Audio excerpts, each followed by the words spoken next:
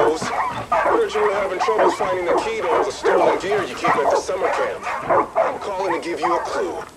Follow your nose. I happened upon that key just the other day, wouldn't you know? And I stuck it in some canned chili, and fed said chili to one of the dogs that you stole.